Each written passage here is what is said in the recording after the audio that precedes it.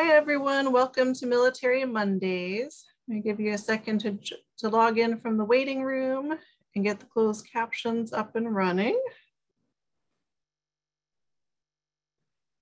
There we go.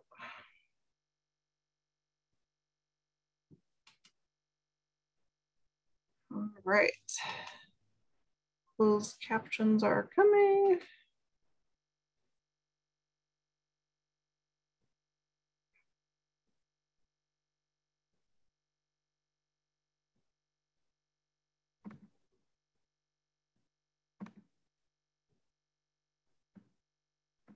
All right, you should see the closed captions up and running on the little red box if you want to follow along there. Welcome everyone to Military Mondays. I'm Christy Baglow, the Director of Statewide Training. I'm so excited to have this series. I can't believe it's taken me two years to have a military and veterans series.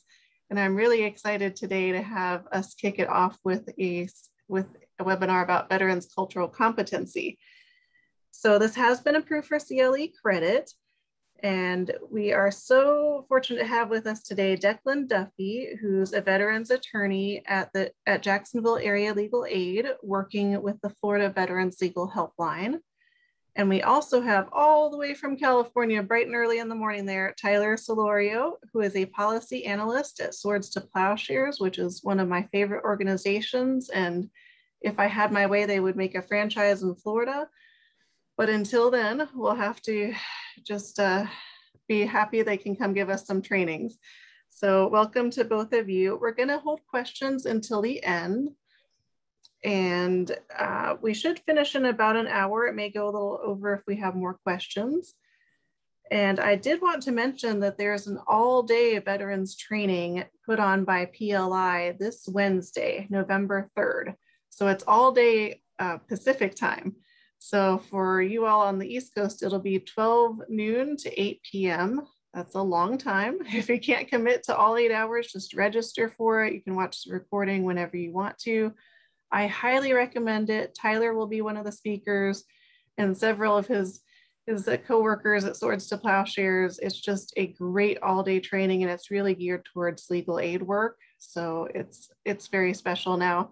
If any of you don't have access to PLI with their free trainings, you should check with your with whoever at your legal aid is in charge of memberships, like for the ABA and everything. They should have a PLI free privilege membership, and that should get you into all of their wonderful trainings for free. So you can't beat that. And without further ado, I will pass this over to Declan to start us off. Let me get back to the PowerPoint. Let me know when you're ready. Christine? Is it showing you the closed captions instead of the PowerPoint? Uh, it is just showing me the first PowerPoint. Okay, perfect. I will get myself back over to where I can control the PowerPoint. get off the closed captions.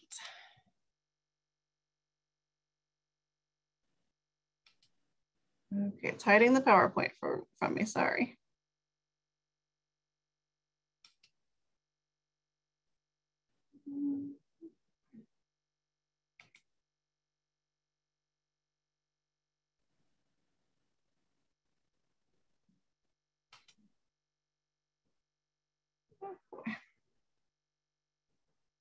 Not sure what I did, sorry. I'll just, I'll take care of it. I can probably stop share and start again. Closed captions messed up our PowerPoint.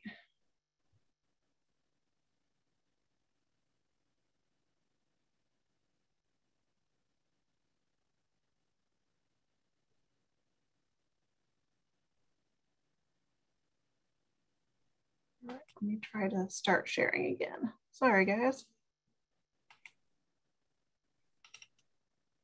There we go. Is it back up and running? Yes. All right. Take it away. Okay. Uh, my name is Declan Duffy. I'm with Jacksonville Area Legal Aid. Um, we have an area that covers roughly 17 counties of North Florida. However, we only have offices in Clay, Duval, and St. John's. Um, my project, the Veteran Services Unit, covers most of those 17 county areas. Um, we have had a case from the majority of them. However, with where JALA's offices are Clay, Nassau, and St. John's, and um, Duval County. That's where the majority of our cases come from. Um, this project is Jacksonville is home to one of the largest uh, veterans populations in the country, not just in Florida. Um, roughly 150,000 veterans living in the 17 county area that we have. Um, if we want to move on to the next slide. Tyler. So I am happy to uh, talk about the organization that I represent. Um, so I am coming in from the San Francisco Bay Area, and I'm a policy analyst at Swords to Plowshares. So Swords to Plowshares was founded in 1974 by Vietnam veterans who were coming back into the Bay and just seeing basically how uh, nobody was taking care of their peers. And so they decided to take the initiative and take care of other veterans. And Simpson has involved into a long project. Uh, clearly, we've been here for quite a few decades now, but uh, we are a full services organization. And so what that means is we're taking care of primarily housing. We're a housing first organization. We also take care of employment and training, uh, job placement. We also take care of health and social services, legal as well. And that is specific to discharge upgrades as well as getting uh, compensation and service connection.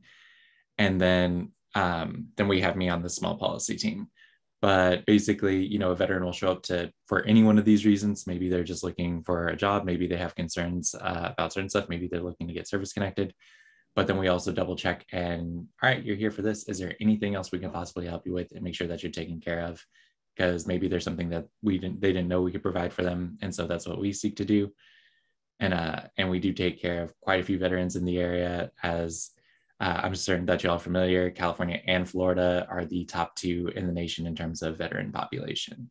And then, as an aside, we also do combat to community training.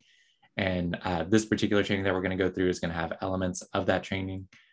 And um, but yeah, and so it's important that we have an awareness of when you're interacting with veterans, what does it mean to have a cultural understanding in a way that informs your communication? And so uh, I'm going to transfer it back to Declan.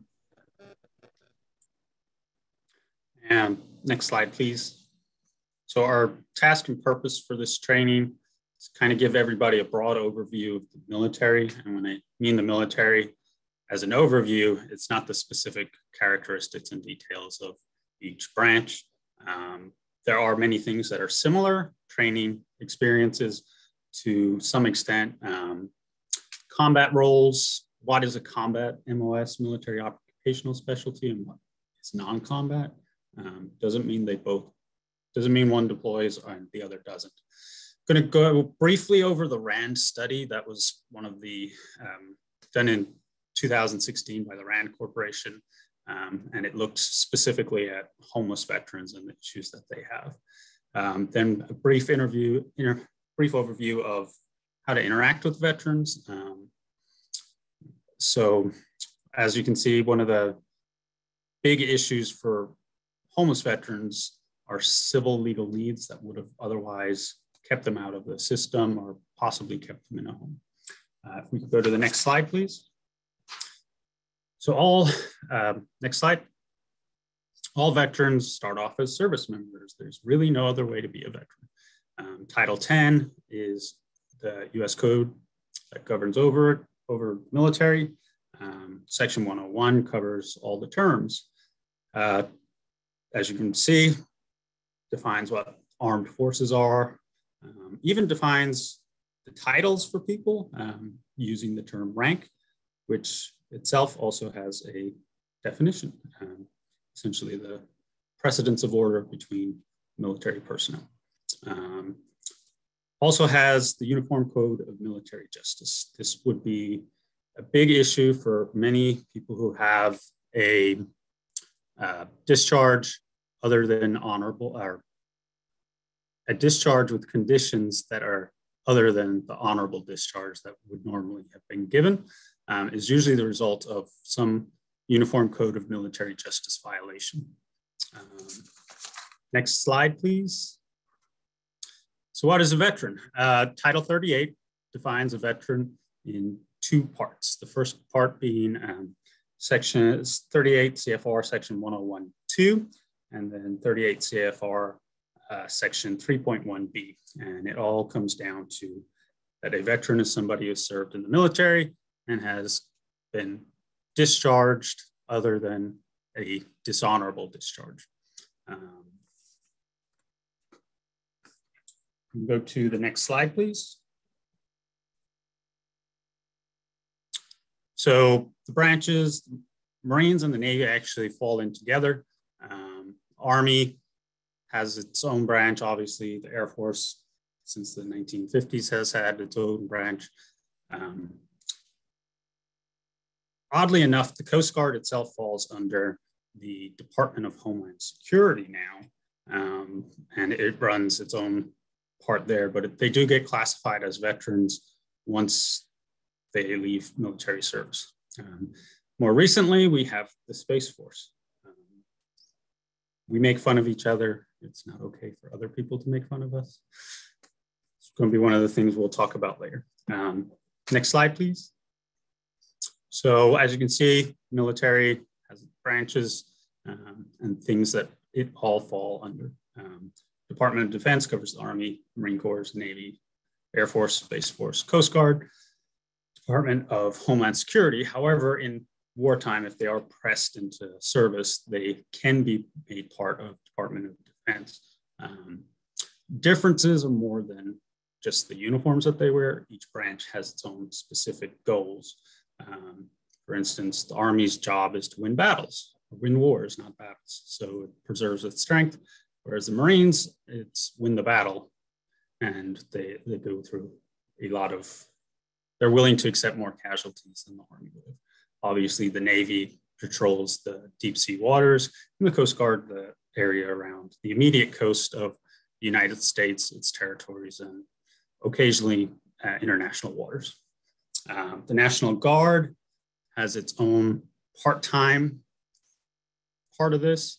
Uh, there are reserve components for the all the active duty branches, um, some of which fall under the title National Guard, for instance, the Air, Air National Guard. Um, they have a different role here. Um, typically, people who people will retire or separate into one of the other branches, especially if they have some service time uh, that's left over. Um, you also have what is called the individual ready reserve, which somebody can retire out of, I found recently. Um, kind of difficult because it requires you to meet specific goals um, every year. Uh, if we could get the next slide, please. So the military cycle starts with enlistment um, all the way to the end of service. So enlistments are different. Um, for instance, I enlisted in Germany because my parents lived in Ireland and the German, Ger- the bases in Germany have significant numbers of military kids who live there. And if they want to join the military, it's easier for them to do MEPS through Germany than it is for them to have to come back stateside and do it. Uh, basic training is all done stateside. Um, advanced individual trainings may go by a different name. Um, but these advanced trainings are what teach somebody the basics of their uh, chosen career field. Um, then they go to a unit, they do training, they may see a deployment, and their end of service. Now, that end of service could be a separation from the military because they've completed their contract, um, or because they're retiring, or for some other reason, such as they're being discharged for an injury or um, too many violations of UCMJ. Uh, if we go to the next slide, please. And the next, so what are the common things across all branches? Well, we lessen the identity of people when they get into the military. We shave heads, they only go by their last name. They can only interact with um, specific people in a specific way. Uh, for instance, when I went through basic training, we were not permitted to speak to the other platoons that we shared the quad um, we could only interact with people in our own squad, our own platoon. Um, it's high stress. All everything is done, and lots of stress is put on individual service members to get them to be where they are. It's an attempt to mimic what may be the stress levels when somebody deploys. Um, the other big thing is group punishment. So it doesn't matter who left their shoe untied, the whole bay would get tossed over and everybody would have to go fix it. Um, routine and structure, everything in the military happens at a specific time, a specific place, and there are rules for everything, every potential possibility that might exist. We have a chain command. These are the ranks. They go from the highest, which is the commander in chief, president, to the lowest, which is typically an E1. Um,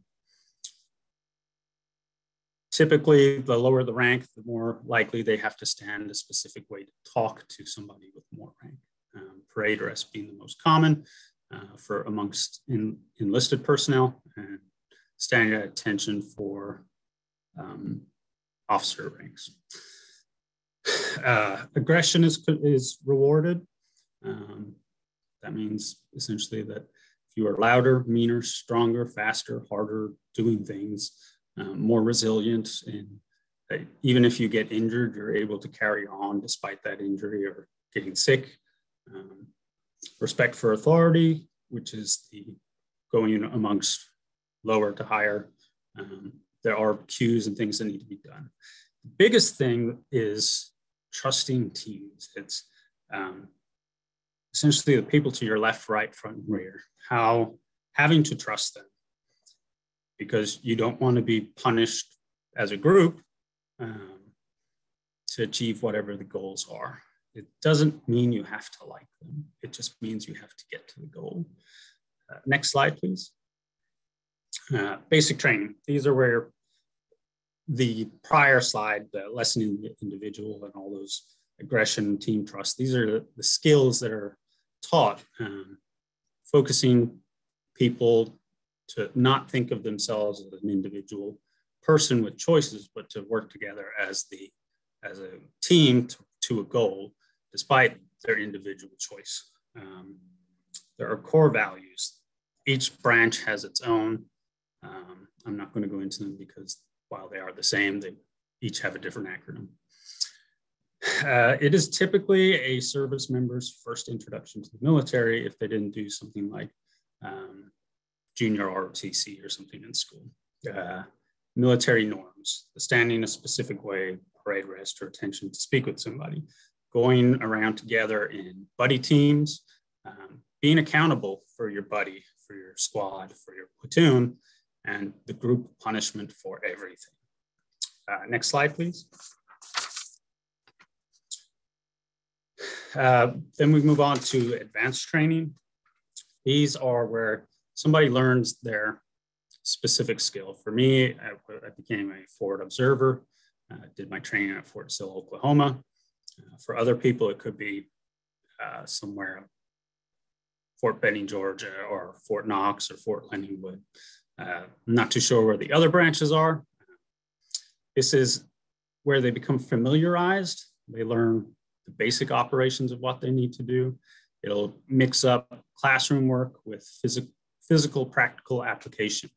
And the freedoms that are increased would be, for instance, now you can uh, now you can talk to the other platoons instead of just to your set to the 10 or 20 people that you're assigned with.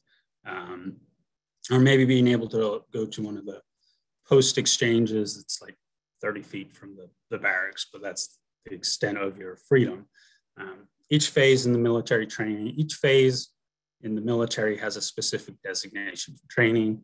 Phase one being in basic training with the most restrictions, up to phase five, which is the, the removal of the majority of the restrictions. Um, next slide, please.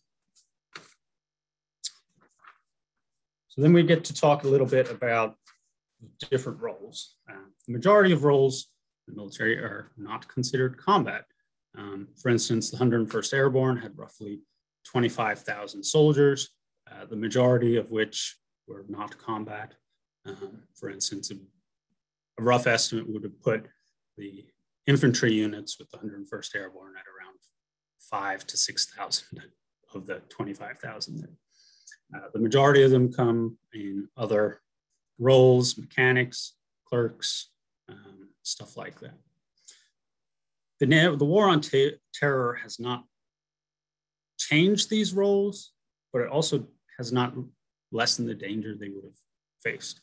Um, moving on into the future, it's more likely than not that while the differences in roles are still there, what each individual MOS has to learn to train is likely to go up. So why am I bringing this up? Um, because there will be differences down the road. Uh, so we have basic military warfare skills. These would be marksmanship, physical fitness, understanding uh, individual tactical movements. That would be what somebody does to avoid fire, uh, how a team would operate in the same way. Uh, next slide, please. So what are our non-combat roles? Ordnance, quartermaster, transportation. Uh, they would be drivers, mechanics, communications, fixed radios, etc., like that. Uh, combat specifically are infantry and armor. Those would be the 11 Bravos, uh, or 12 Bravos. Uh, support combat military would be artillery, which is what I was as a forward observer, medical, and engineers. Um, why do I? Why do they differentiate these by support uh, combat as opposed to combat? And it's primarily because they wanted to be different. um, you know, it was never expected that these support roles would engage in combat, but as military needs have changed, so has the actual needs of the role. Um, next slide, please.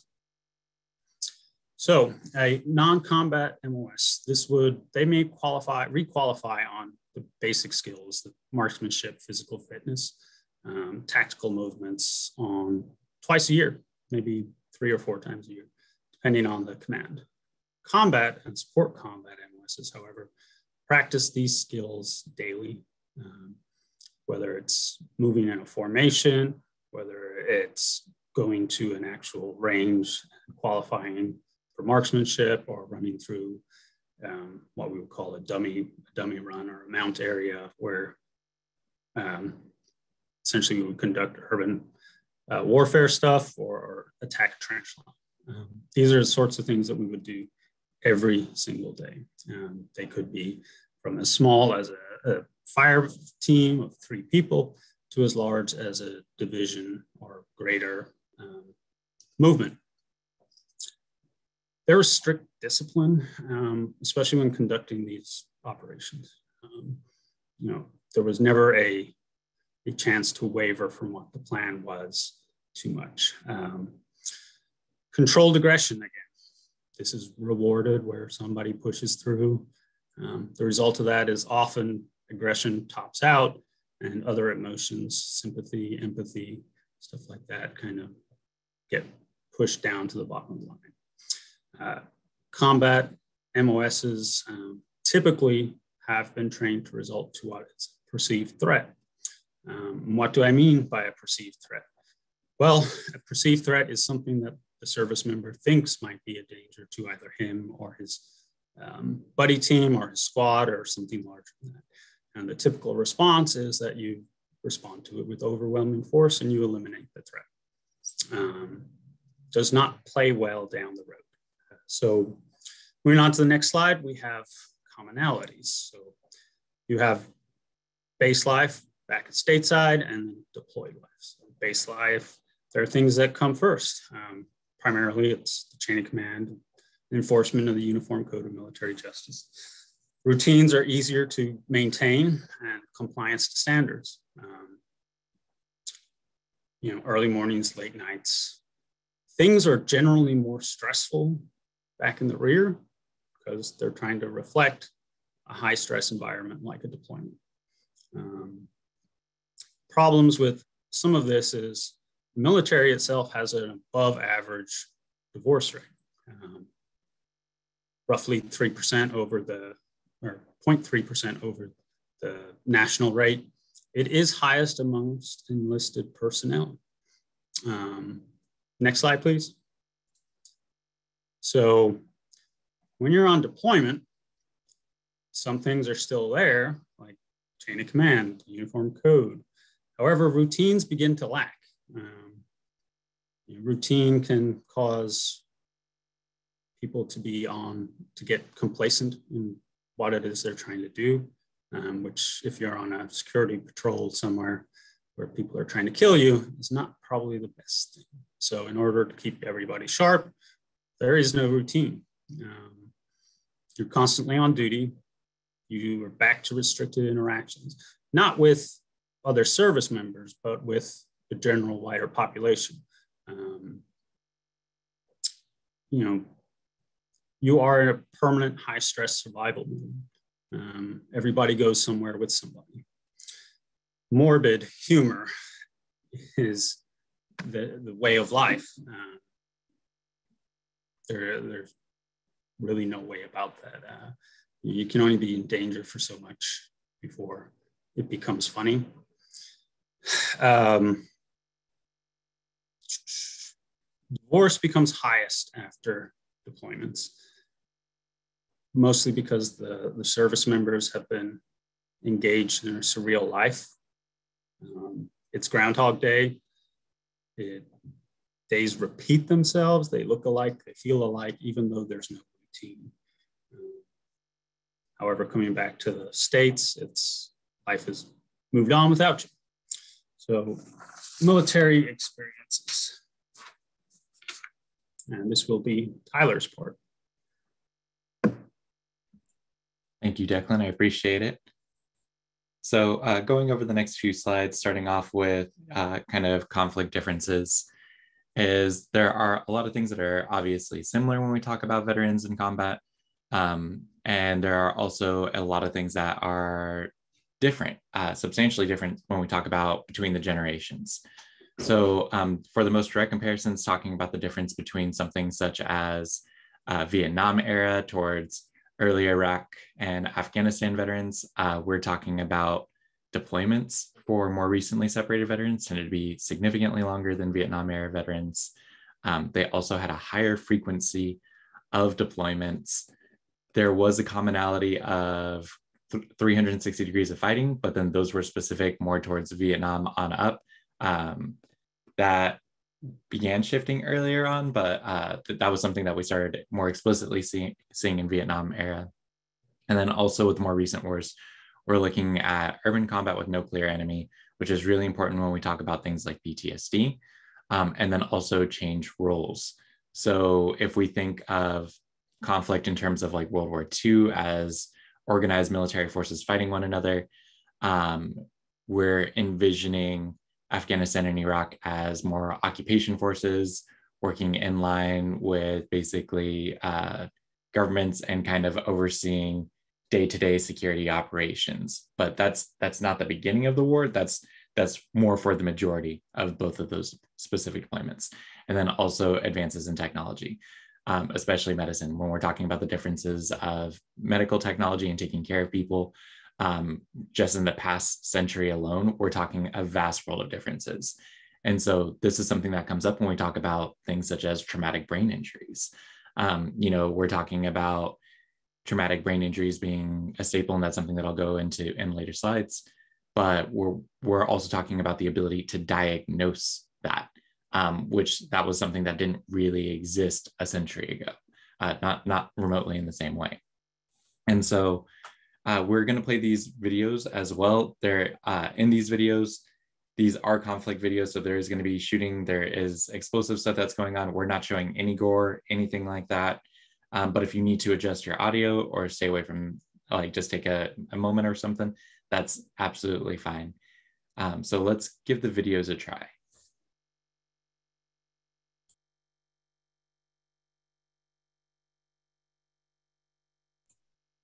If they also don't work out, that's absolutely fine. We can just jump and continue into the slides.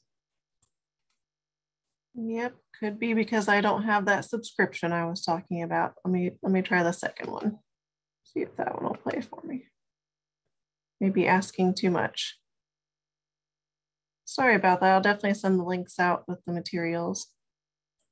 That is absolutely fine. Uh, but yeah, we can just skip over into the next slide. All right. Um, and so what we're going to be going on to here is Battlemind. So I was familiar a little bit of this when I was in the army, but I feel like I became a lot more familiar with this uh, actually after I left the military and more actively started doing these type of trainings. Battle Mind was initially a U.S. Army program that was trying to understand how participating in conflict zones essentially. Uh, sorry, my cat keeps trying to bust into the room, but um, and how they essentially keep affecting interpersonal relationships. Now, hold on one second.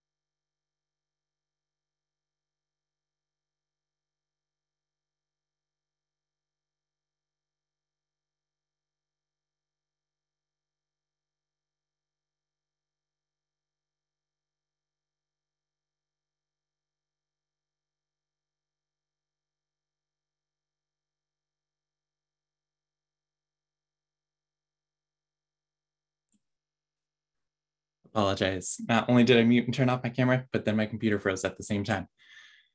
So Battlemind was seeking how to understand that interpersonal relationships were affected by conflict zones. The caveat here that I want to mention is that this is not exclusive to veterans who have actually experienced combat um, or like it's non-exclusive to the rest of the military. And so what I mean by that is is that the vast majority of service members don't experience combat.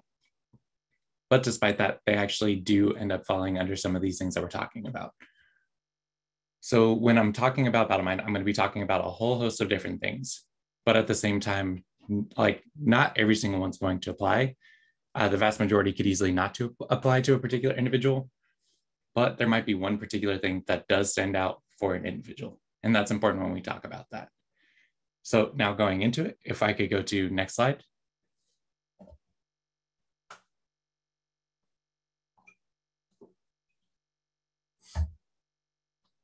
So starting off with um, buddies and cohesion versus withdrawal. Essentially kind of the mindset that we end up getting picked up and ends up really influencing us. And I think, I feel like this one tends to be a, a pretty common one, is that uh, a lot of civilians do not understand where we're coming from uh, it's mainly our veteran peers that understand where we're coming from. Um, and even then, you know, that can be broken down a little bit uh, between combat and non-combat. And then also fundamentally what role you ended up serving while you were in the military. And so this type of feeling tends to be more explicitly about the squad that you deployed with, uh, maybe the platoon or company that you also deployed with. But it's that, you know, nobody understands what you're going through and it's kind of that shared trauma bonding, right?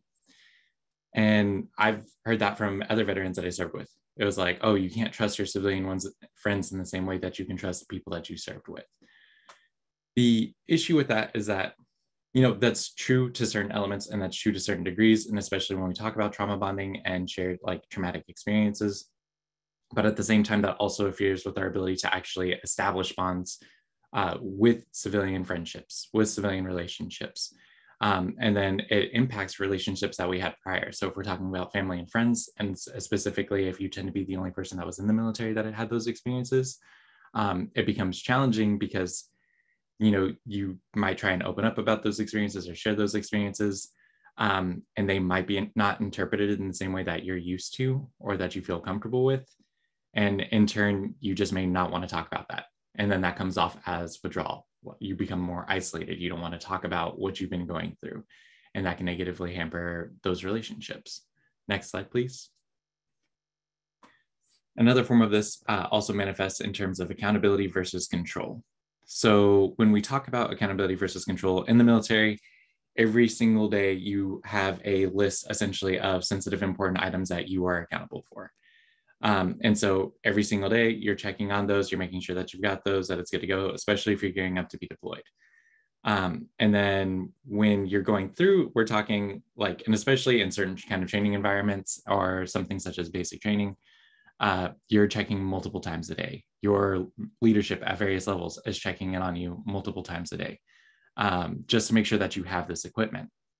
And so it's a bit obsessive and it's also understandable because if you lose even a single item, uh, depending on the importance of that item, they will lock down the base in order to find out that item. So that's like the level of accountability that you are entrusted with. And uh, and you know, it's military, we play pranks on each other. And so there are pranks that are involved with hiding somebody else's items while leadership comes in to check on them. Leadership's usually in on the plot. And uh, and this person who has religiously checked for those sensitive items, all of a sudden one goes missing um, that does immediately come off as a panic attack or being incredibly anxiety inducing for the person that's having to experience it. Um, but this also has byproducts in the civilian world. If you're having a stressful week, if you've had a uh, just like a rough time, let's say you've had some issues at work, and let's say your car keys that you've placed in the same place that you've always placed in the same place that you always keep accounting for um, are missing and you're running late for work your reaction to that might be a lot more intense than uh, the average person's reaction to it. And then if we think of that and tie it in with stuff like the level of aggression that we're tra- trained to and a lot of our experiences and any other trauma, again, we can respond what would be seen as pretty inappropriate. Um, and, you know, it's one thing if you live by yourself and you're frustrated, but if you are married or you have a roommate or something like that, um, that can easily result in something like a confrontation or being like angry, thinking, hey, I've always kept account for my items. I know where they're at. This couldn't be my fault, even if that's not necessarily the case. Next slide. This also leads into targeted versus inappropriate aggression. We have an expectation in the military that the quietest person in your unit should be able to assume a position of authority. And um, being able to assume a position of authority means that they need to be able to take command, they need to be able to give orders, they need to be able to direct people. And if somebody is pushing back, they need to be able to push back. Um, and it's that kind of presence of force and in the way that we are operating in such a way that we're trying to take care of each other, uh, survive the particular situation, and then also whatever aggression might be necessary to deal with whatever threats we have coming. And so that's incredibly normalized for us you know, not at any one point are we, we really stopping and thinking like, hey, is it appropriate to interact with each other this way? Like there's times where, you know, in retrospect, you're like, yeah, that was incredibly degrading. At the time, you may have not have been thinking about it that way. On the flip side, there's not an on off switch for that. And so when you experience something in the civilian world or you interact something within the civilian world, uh, there are times that you may be overreacting, you might be aggressive, uh, there might be ways that you snap when you interact with people that leave a lot of folks uncomfortable. I've had this conversation because like I do a tailored employer training um, for like HR folks and everything to talk about veterans in the workplace. And some of the feedback I've received from HR stuff, and I wish like veterans had this conversation or heard this conversation, um, but they've talked about even interviewing uh, interviewing veterans for positions at a job, and um, and they're like yeah they can be over assertive uh, in a way that's uncomfortable just during the interview process. And i'm like well i wish they knew that because they probably don't think they're being over assertive they probably think that they're just really trying to sell themselves and trying to get that job placement. And uh, you know you don't really hear people being described as over assertive when they're in an interview process but i've heard that about veterans. Um, next slide please. Tactical awareness versus hypervigilance the ways that we operate in a conflict environment or that we are trained to, um, because keep in mind, a lot of drill sergeants, at least in my experience, did have combat training and, well, not combat training, did, did have combat experiences, and they imparted their experiences with those they were training, whether they experienced combat or not. But there's this mentality of survival and this mentality of awareness where if you are complacent, um, that is lethal. That is something that will either get you killed or prevent you from somebody else getting killed. And so our survival depends on us constantly being aware and stuck in the stage of awareness. Now, when we are in a conflict zone, uh, it works for us, right? Like that is something that is keeping us safe. Have, being constantly vigilant, being constantly aware, that is something that is protecting us. Again, it is also one of those things that does not have an off switch. And so, especially when you come back into the civilian world, uh, you start noticing a lot more. Nobody feels like that they have PTSD when they're in a conflict zone, right? Um, they start noticing that they have PTSD when they are back in an environment where they are not worried about it, because that's when it really starts popping up. And so that's when we really see hypervigilance come into play. Next slide. And then emotional control versus anger and attachment. The military is genuinely, and like this is a, a byproduct of discipline, really, but you do learn how to handle your emotions, not in a healthy way, but in a way that it doesn't interfere with how you operate. Because there are a lot of times when you are in life or death situations or high risk situations where, you know, obviously you might have an emotional response. If somebody you care about in your unit gets injured, you're going to have an emotional response. But you know that emotional response is also dangerous. So you need to actually reel that in, take that like for a moment and just put it aside because you have to be able to operate to the best of your ability so you can't deal with those emotions at the time and um, and in a lot of those situations it is do or die. So emotional control really does end up prevailing. Um, and this is the third time i'm going to say this. This is another thing that does not have an on or off switch though. This is a natural survival mechanism that gets embedded within you. And so this can inf- uh, uh affect interpersonal relationships in a lot of different ways. Um, and especially it's like hey this emotion might screw with me and my inability to survive. I'm going to put it to the side. And so, uh, you know, events that I could think of this in particular is if a family member or a loved one dies, right? Um, and let's say you are in a work position where it's like you don't have any time off, you don't have any opportunity to do that, you have a busy work week ahead of you, you got to take care of all these other tasks, right? There's so much that's already on your plate that's going on that you got to take care of. Um, and yeah, this hurts, and yeah, this sucks. But if this emotional process takes over for you, it's going to make your life that much harder. You're going to be like, all right, then I'm going to put it to the side. I'm going to do my best not to deal with it and push it to the side. It doesn't mean that you're not experiencing it and that it's not happening, but everybody around you is going to be interpreting it as such. They're going to be wondering why you're so cold, why you're so detached. And it's going to be harmful uh, to your relationship ultimately, to your friendship ultimately because they're interpreting you as being uncaring when that's not the case. Um, the reality is, is that you're doing your best to survive, and that comes off as you not caring. And so there, that's one of those things that we got to work with, and we got to find uh, middle grounds to be able to express ourselves. But then also, again, it is a survival mechanism and it is a useful mechanism. Next slide this also uh, relates somewhat when we talk about operational security and secretiveness. There's a lot of times where uh, you're operating on a need to know basis. Um, you might be operating in something with some that might be towards confidential. There are also other experiences that you have that are not necessarily something um, that you are being uh, secretive about or that you have to hide, but there's just no reason why you would talk about it or would seem weird that if you talked about it. Um, but when this is a huge chunk of your life, you know, keep in mind, we are doing this job for years. Um, and so when there are huge chunks of your life where there's things that you do not talk about because you're not supposed to, or just why would you ever bring it up? Um, that's your life you're not talking about. That's that's you being quiet about important life experiences that happen to you and something that you can't necessarily share or vent about with uh, with other people other than maybe the people that you served with, right? And, um, and again, that reinforces the notion that we are isolating, that we are socially withdrawn, um, maybe that we are cold. Like, why are you so secretive all the time? And again, this is another thing that could potentially be damaging to interpersonal relationships. Next slide. mission accomplishment versus failure. Uh, military does everything it can to teach you that you are fully capable of achieving anything, um, that there is so much that you can put your mind to and that uh, you, you can accomplish, right? And basic training, I feel like, uh, really tries to instill that mentality within you. Um, and, you know, to the extent that they expect where it's like, hey, you can accomplish this even if ultimately completely eradicates your physical health, right? And then there's also not really room to embrace failure or learn about accepting failure. Like there might be to like minor degrees, but obviously um, they, they want to prioritize you can do whatever you set your mind to. Um, this creates a lot of challenges for a lot of different veterans in a lot of different ways. Uh, I regularly see this manifest most when we talk about student veterans.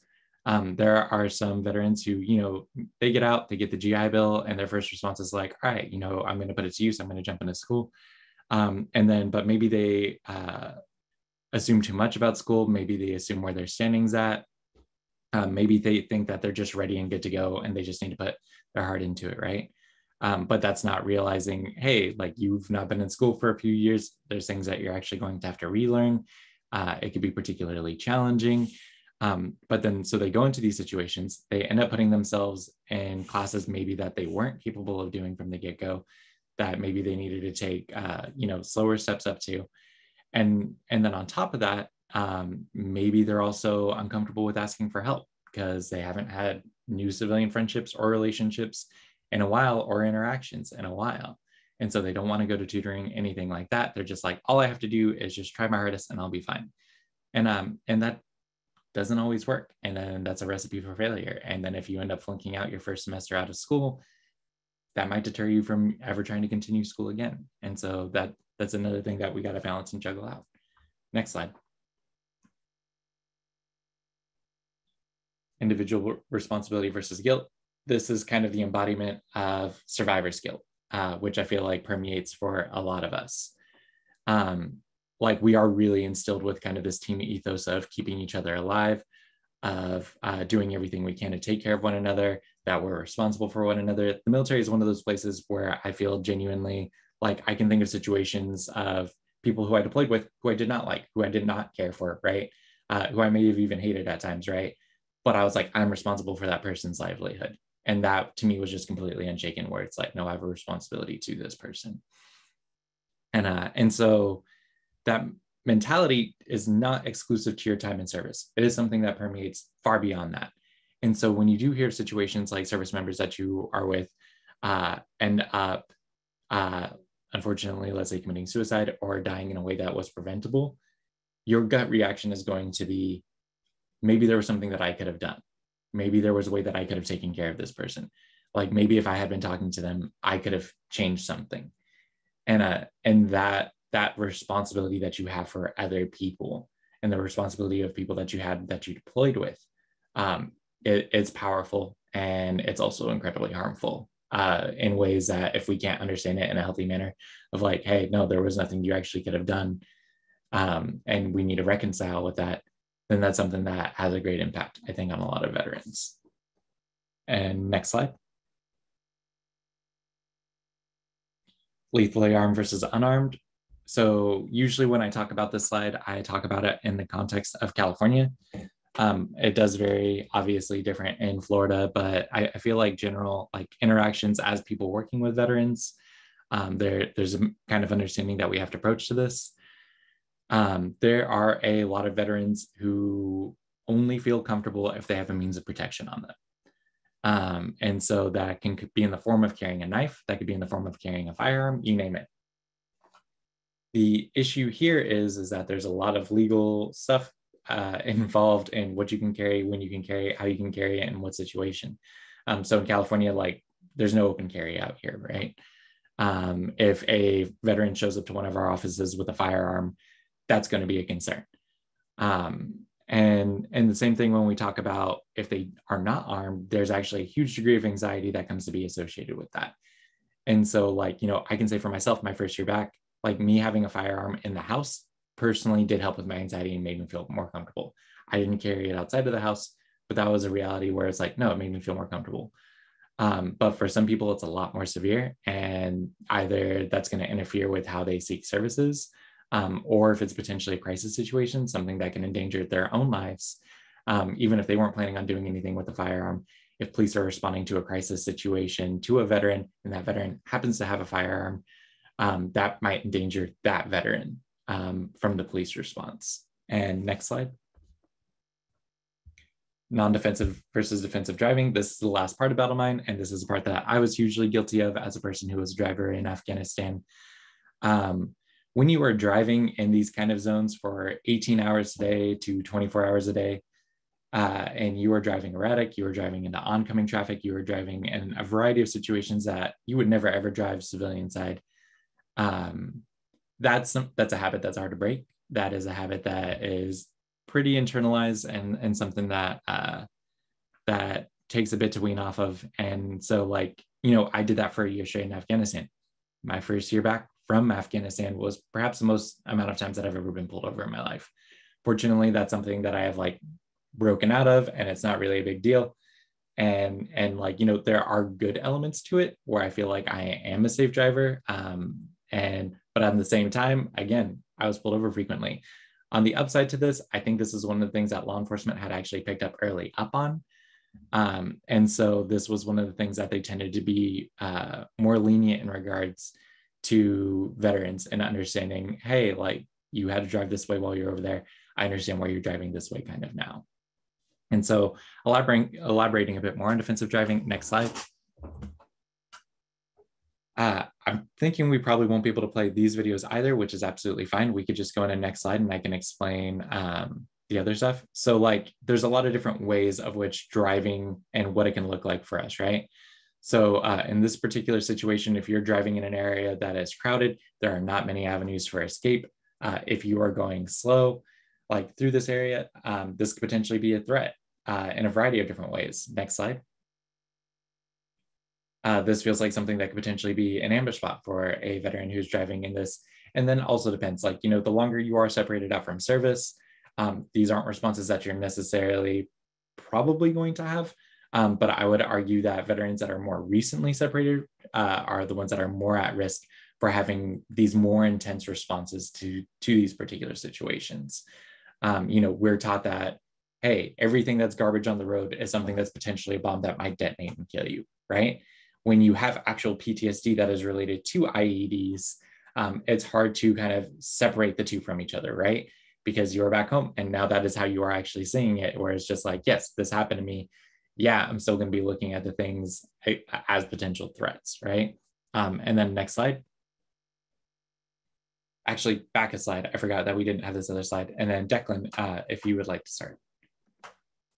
Yeah. Um, so you see there are some of the concealed positions and improvised explosive devices to the left and right of the PowerPoint. Um, some of the other things that, especially a combat veteran, somebody who's trained with 11 Bravo uh, infantry or Cav Scouts, forward observer, something like that, would see more than just these particular things. Um, they would probably see snipers on top of the building or the fact that there's no cover here, there's no there's no cover here. It's just something that cars that they could get behind. And from experience, cars do not protect you from incoming fire the way they do in movies, just to note that. Um, typically not a good place to be.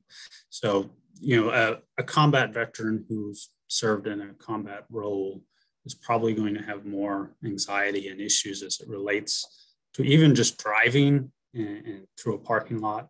Um, or being in crowded traffic, stuck in traffic, than someone who hasn't had those experiences. Um, if we could move to the next slide. Um, so what happens when somebody gets back from deployment? Um, well, for a lot of guys who just are in for one term to get their GI Bill, that's the end of their service. Um, to get out, they become a veteran, and they start trying to come back to a normal life somebody who's retiring, it's pretty much the same thing.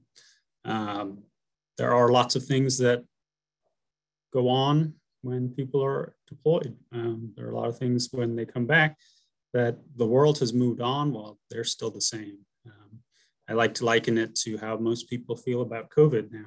Uh, it was a year that didn't really happen because not much happened during it. Um, if you can move on to the next slide.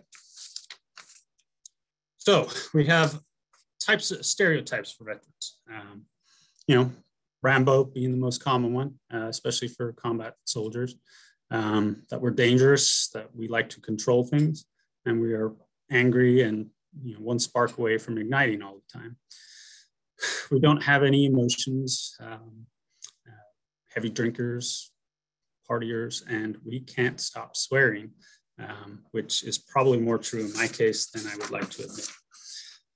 Uh, next slide, please. So what is a veteran? Um, as we had said earlier, it's defined in 38, uh, 38 CFR section 101 and uh, section 3.1b. So, but amongst veterans, it's somebody who agreed to do something for our nation that could have resulted in the loss of their life. Um, move on, next slide. So what are the big issues? Well, physical issue, physical injuries um, being one of them. It's primarily what the VA is was initially developed for after the Civil War um, and has since become more involved with uh, mental health issues that relate. So what do physical injuries result in? Well, one of the things that I learned when I was in the military is that if you're experiencing pain, then that is what we called weakness leaving your body and you were going to be stronger for it. Um, does not quite apply so well if somebody's broken their ankle and they try to finish a 21 mile road march.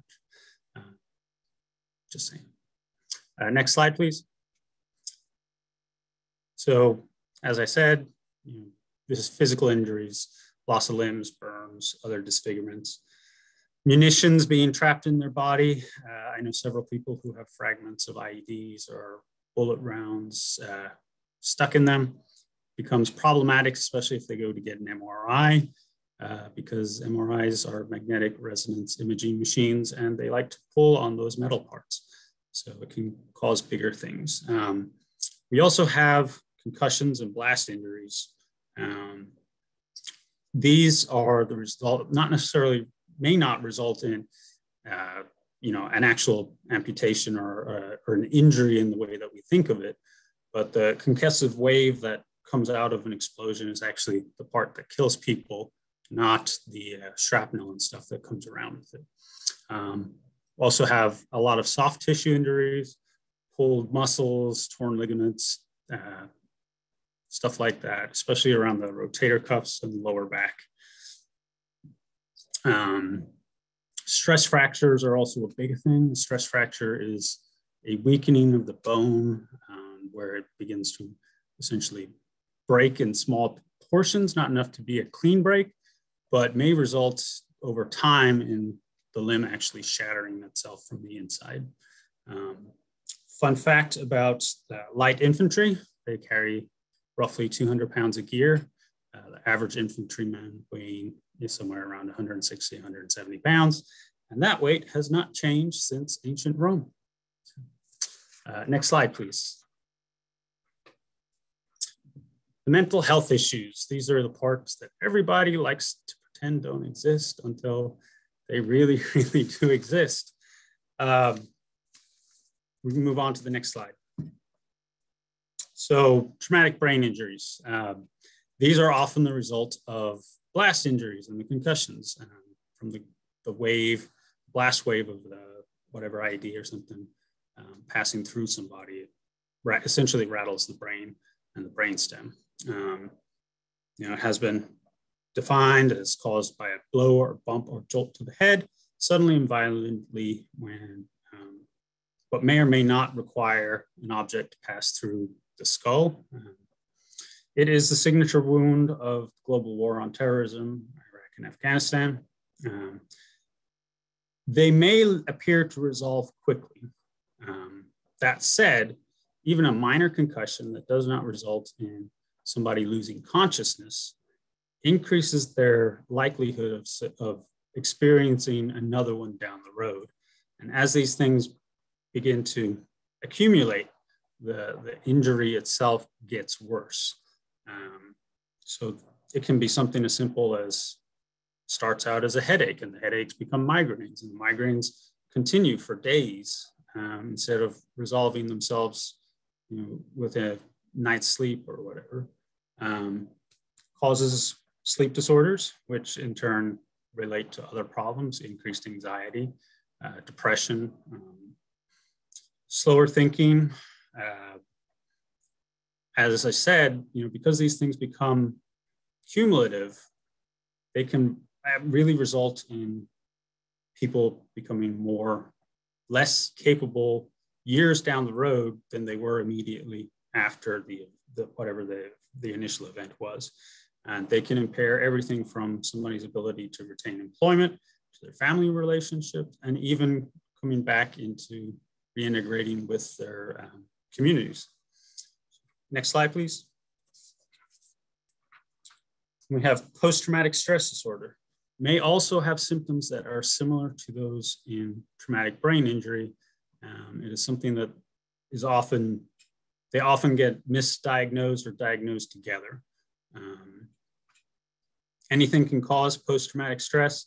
Uh, ultimately, what comes down for most veterans is there was some event during their service that they keep reliving, even if they don't realize they're reliving it. Um, not all of the post-traumatic stress require somebody to go into a flashback of being back in the actual situation. It may just be a feeling, um, a smell, or a sound that strikes them back as, you know, hey, this reminds me of this place or this event. Um, often veterans and like most civilians may try to um, self-medicate or engage in reckless behaviors.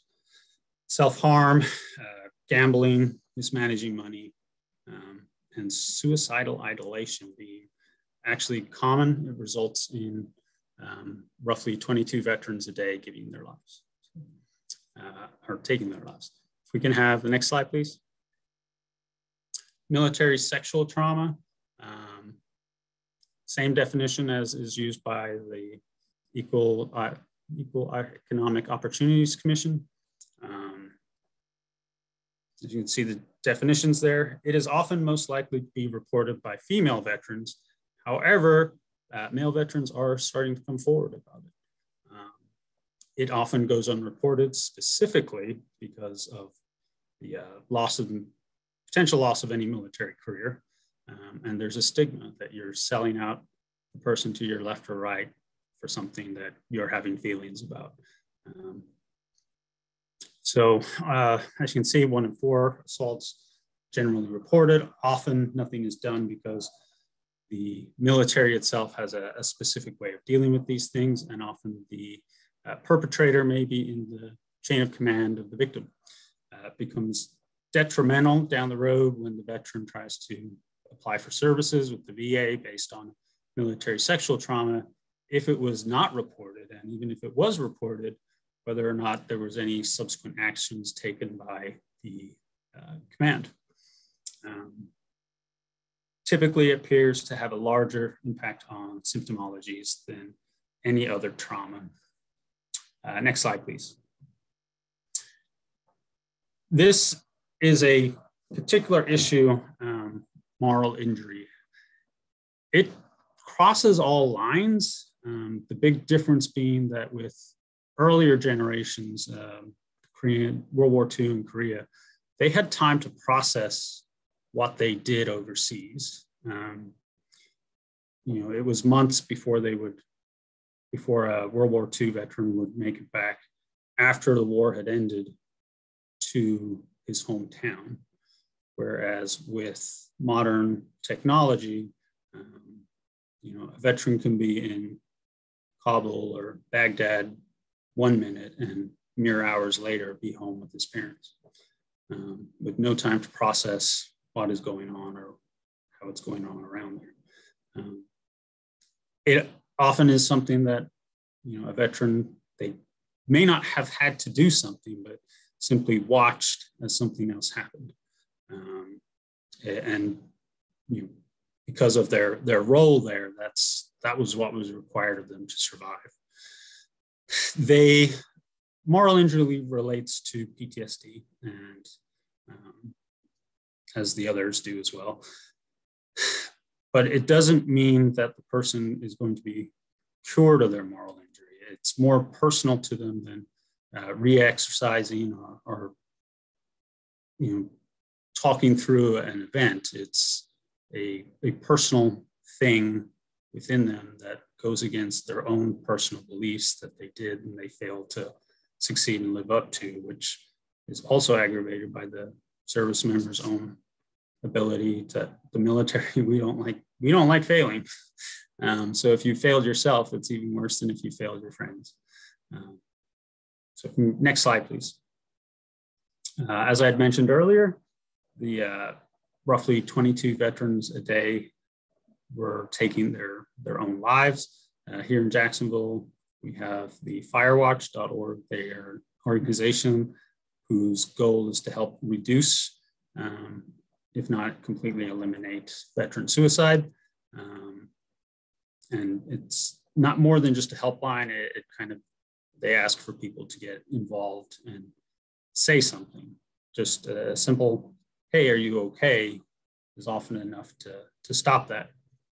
Um, so you can see the likely more frequently it is the newer generation of veterans for global war on terrorism who are more likely to take their lives. And this could be a result of a multitude of factors, but often it may be simply that they didn't reach out for assistance when somebody realized that there was a bigger issue going on. Uh, if we can go to the next slide, please. So we move on to the RAND Corps uh, study. This was conducted by uh, RAND Corps in 2016. It was a, essentially a request to see what the needs of homeless uh, veterans were. So it also found that California, Texas, and Florida having the top two uh, or top three um, veteran populations with less than 70,000 veterans uh, determining first, second, and third. Um, you know, Jacksonville ties with Colorado Springs and Virginia Beach for the highest density of veterans and where veterans are likely to retire to. Um, Florida and California having the highest percentages of homeless veterans. Top major issues being for male veterans are ID cards, um, child support being a large one as well, um, housing, proper identification, criminal records, um, discharge status. Same for females. Uh, typically, the biggest issue for females is not just simply finding a secure housing for themselves, but also a secure housing for children, um, which makes it a little bit difficult, a little more difficult than, than normal. Uh, next slide, please. And the next slide. So many people believe that every if you served in the military, you have access to, to healthcare, and that's not always um, true. When veterans get out of the military, they have lost their access to better pay, healthcare, and fringe benefits of service, such as having somebody pay for your housing or having on base housing where your housing is not just paid for, but all your utilities. So if somebody gets out of the military and there's a child support order in place, they have substantially reduced their available income because they did not reenlist or they were retiring um, than they otherwise would have had had they remained in. Uh, big issues that result, result in a suspension of license if enough um, child support is, has accrued and has not been cleared out. Housing issues, it's not just the retention of housing or getting into housing, um, but it's actually learning how to be in there again, um, to be by yourself and not have somebody watching your back all the time. Uh, consumer credit issues, foreclosure often happen to military because they're they've lost the the more pay they they fail to realize or account for. Um, early intervention in all of these areas can result in fewer veterans entering the criminal justice system each year. Uh, next slide, please. So how do we engage with veterans? Well, first you have to realize what veterans have left. Um, everybody in the military has a rank.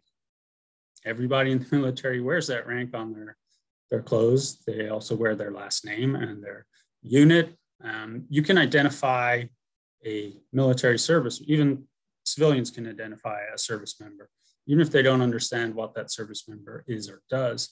Whereas veterans have been trained and intuitively know um, what each rank means and where they stand in relation to everybody. They also know their role. Um, what they're supposed to do, how they're supposed to stand, how they're supposed to talk. Um, they understand that, hey, uh, I know I might not like A, but A also has to keep me alive. So I have to keep A alive, even if I don't trust A with you know, my stuff. Um, when you get out, you lose that identification of yourself, um, who you are and where you stand in relation to the world. Um, what it is that you're supposed to do. And when you look at other people, how you're supposed to interact with them. Um, you also don't know if they are with you or against you, or if they are somebody you can trust, or if they're somebody you just have to trust. Um, if we can go on to the next slide, please. Coming back to the civilian world, the perception is one of the most difficult things is networking. Um, veterans often see uh, civilians as thinking we're damaged, we're broken, we're Rambo. Um, we don't have an ability to control ourselves. Our ability to control ourselves is just strange and a little too extreme. Um, in 2018, 7% of US adults were veterans. Um, that's down from almost a fifth in the 1980s. Many veterans, when they get out, they desire to not engage or inter interact and engage with the military or anything related to the military. Um, this has a do-for bifold uh, problem. May compound mental health issues by not having them treated immediately uh, when the symptoms are small enough that they could be managed. Um, and also in networking. Um, networking is the key to getting a job in America. You can apply for all the positions that are out there, but if you know somebody, you're more likely to get the interview. Um, you know, there's a perception of negative care within the VA system itself. Uh, not assigning fault one way or another, but it is something that the perception is there that the VA is going to take forever. And you know, the reality is that sometimes it does take a long time to get processed because there are a significant number of people using the system. Um, a lack of adrenaline, uh, everything in the military revolves about being done now. So everything has a, a moment, a purpose, and it must be done immediately. Uh, when you're deployed, you go from being on a normal level to your highest level of adrenaline uh, on a daily basis. And when something happens, it spikes even higher. Um, many, when they come back, find life is a little bit more boring and they start to engage in some of those reckless behaviors that we had mentioned earlier, um, driving, you know, uh, being the most particular one. Um, many veterans also feel lack of control in their life. You know, I knew where I was and what I was supposed to do in the military and how to move forward. Now I have to figure it out for myself, and there's just too much. Um, next slide, please. How do we engage with veterans? Well, veterans come from all areas, all backgrounds, um, but we also have our own thing, uh, our own culture. It's good to be knowledgeable of specific terms within the military, um, the jargon, uh, differences, especially between enlisted and officer experiences. Um, for most enlisted people, they were there on the ground, um, being the ones handling whatever the situation was many officers are, if they're not a lower level officer, may not have been on the ground itself. Um, it's good to locate local community veterans groups. There are more than just Wounded Warrior Project and Veterans of Foreign War and American Legion or Vietnam veterans. Um, I find more each and every day. um, you know, it's good to interact with the, the um, officers of these organizations and to find out what it is that veterans actually need it is always better to engage in a one-on-one interaction uh, than it is to try to do a phone call or Zoom. Uh, next slide, please. So when engaging, it's always better to be direct. Blunt answers are generally prefer preferred because we don't like to waste time. Um, try to keep on track and on point about things, uh, being factually relevant to the, the issue at hand, not necessarily letting them move off into the, the other areas that they might have. Um, also ask them about the resources they've accessed. Often, sometimes they, they haven't accessed resources that they know are out there. Might be a better way for them to achieve their goals. Um, actively listening, being able to follow along with what they're saying. Um, often you may come across some experiences that you don't understand. Um, you know, it's difficult to say what it's like to be in a dangerous situation, knowing you're in danger every moment, but finding yourself dealing with some kids on the side of the road and still trying to um, suss out if there is a danger in that position. Um, you know, it, judging experiences, it's hard to judge something that you couldn't comprehend. Um, if there is a response there, it's often better to um, let them engage it, but then de-escalate it. Um, don't allow the, the emotion to control their answers. Um, avoid politics. It's hard to tell with everyday people, the civilians, whether somebody is left or right or whatever in the center. Um, it's even more difficult with veterans. There's a perception that if somebody is a specific type of person in a specific area, they fall within a specific demographic that may result in them favoring one party or one team over another. Um, and if you're wrong, it may get worse. And they may actually just decide not to engage with you any further just based on that. Um, if we could have the next slide, please. So often we get thanked for our service. Um, and what does that mean? Well, it means different things to different veterans. Um, it's, as I was told by one veteran, it was like being thanked for paying his taxes. um, something that he felt he was obligated to do and did. Um, it wasn't for the accolades that came with it. Um, this was a particular thing that I found on one of the veterans memes that I'm with. Um, you know, thanking somebody for their service isn't as important as being an American worth fighting for. Um, and that kind of stuck with me. So um, with that, I will let Tyler say his farewells as well. Uh, yeah, um, thank you for everybody for being here and attending. Uh, fortunately, I do see that we also have some questions uh, in the Q&A that I think we'd be interested in talking we about. do. Thank you both for such a good presentation. I, I, am so grateful to both of you for putting so much work into this and kicking off the series with this topic because it's absolutely essential for veterans to do this training uh, themselves. I can talk about veterans cultural competency, but I'm not a veteran. And I just want to remind everyone that we are all serving veterans, whether that's your specific project or not. Your clients are veterans. So I think we owe it to them to educate ourselves and try to serve them the best we can.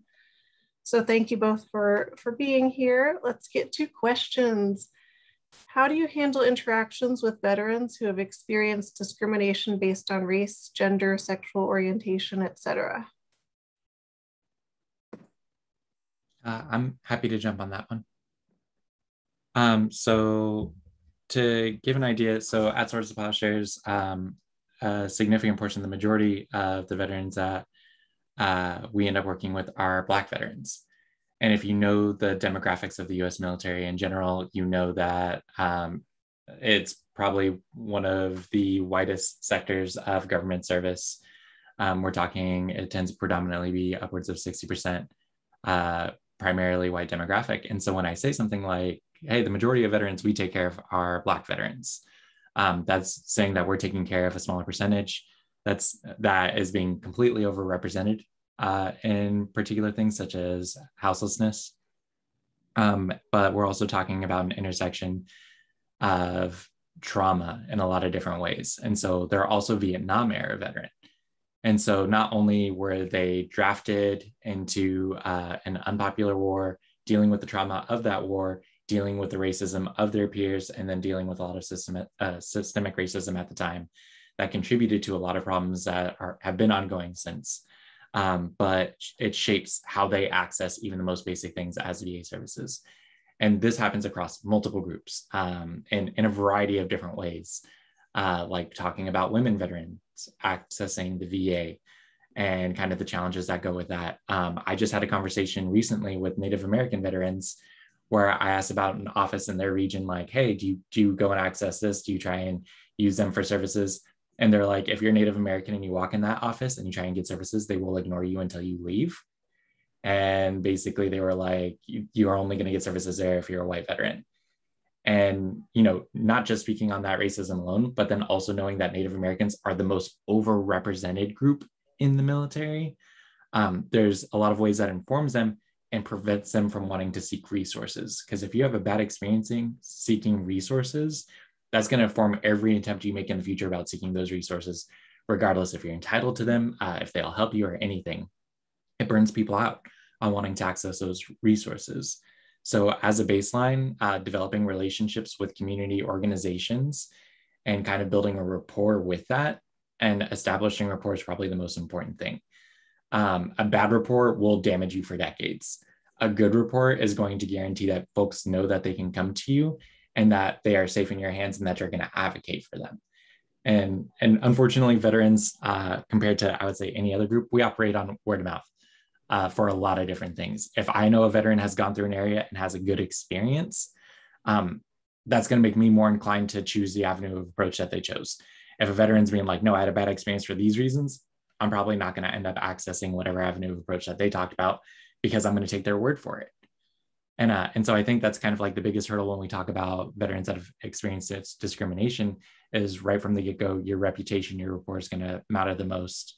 But then let's say you know in spite of that you're having these interactions um, just doing everything to you can to emphasize that you're on their team and you're going to bat for them um, and not that they're just having kind of like the shallow interaction but that you're you know active listening you're engaging like when they share those experiences you're acknowledging those experiences and like reciprocating that conversation I, I think that's what you have in lieu of if you don't have the rapport already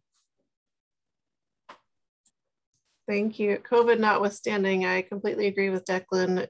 It's important to meet with your veteran clients in person if you can, especially if you're going to be handling a case for them for years. You've got to establish that rapport or your case is not going anywhere. I'm not sure if you guys will have um, any stats or comment about the next question. Um, this person wants to know which veteran age group, like which combat war era, receives the higher portion of medical care versus mental health services from the VA? That would probably be the global war on terror. Um, most veterans who get out now engage with the VA almost immediately from the onset of getting out. It's part of the, the transition program that the military has when somebody leaves. Um, you know, older generations, especially um, Korean War, uh, they were less likely to go seek this sort of assistance. Um, they figured it was, while it was available to them, it wasn't something that they needed unless they were actually an amputee or they were injured. Um, it wasn't until you know late 90s, early 2000s that the, that those particular age groups started to engage to receive medical assistance and health services, mental health services from the VA. Um, Vietnam veterans typically just did not engage with the VA because right from the get-go, they they had a bad they had a bad um, interaction with somebody at the VA, or their benefits were denied, so they just chose not to. Um, and it was something that you know it is a bad feeling that has remained with many Vietnam veterans, um, having to rely on the government or the VA for anything. Um, yeah, it's global war on terrorism. Long story short. That makes a lot of sense. And I just, when you're meeting with someone who served in the military, don't assume they have VA healthcare or any benefits. No matter their age, there's still rumors going around about who is and is not eligible. Um, female veterans sometimes think they're not eligible for some reason. Um, so definitely ask because in places like Florida, if they don't have VA healthcare, they most likely do not have any healthcare. So make sure you ask about that. Um, so the last question I see is many of our clients are aging veterans, age 70 or older. Your recommendations seem directed to more recent veterans. Do you think they equally apply to the older veterans? Yes, without a doubt. Um, it was something that my mom's cousin, he was a Vietnam veteran, and he and I, we had an instant rapport. Um, he had served in Vietnam. I had just gotten back from my first tour of duty in Iraq, and he was somebody I could relate to because he understood what it was like to be deployed, gone for a year, come back, and the world has moved on without you. Um, while you've been in a place where your life is in danger every moment of every day, even if it's taking the shower or eating at a chow. Um, there was just some level of uh, shared experience, regardless of the war era, uh, that makes it easier for veterans of all eras to talk to each other that they would not have talked with family members about.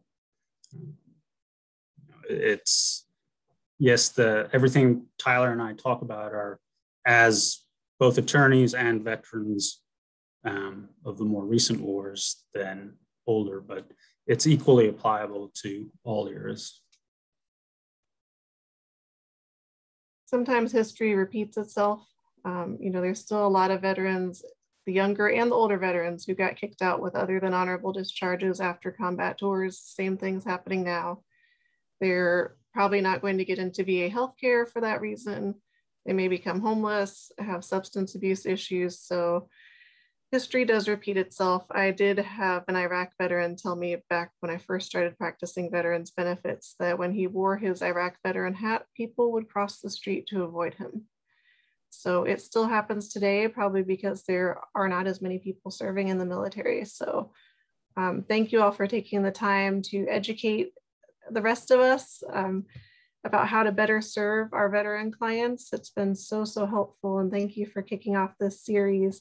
Don't forget to register for next Monday's webinar about non-citizen veterans and the naturalization process.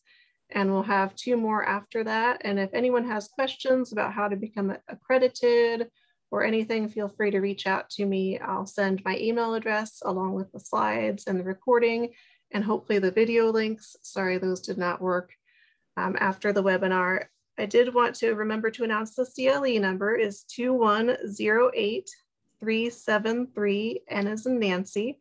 Again, it's 2108373, N as in Nancy. Thank you so much again, Declan and Tyler.